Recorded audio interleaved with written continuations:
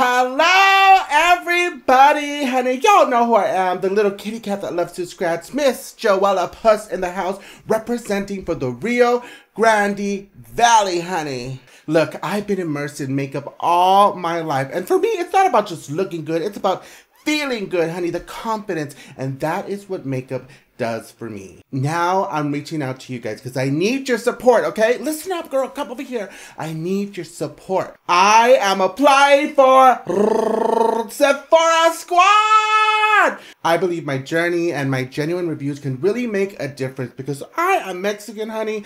I am plus size, BBW, and listen, I go through it, honey. I sweat, uh, uh, everything falls apart, and I'm gonna give you the real down truth reviews over here. Okay, Mr. Joelapuss is going to take care of you, and this is why I'm excited to try out for Sephora Squad.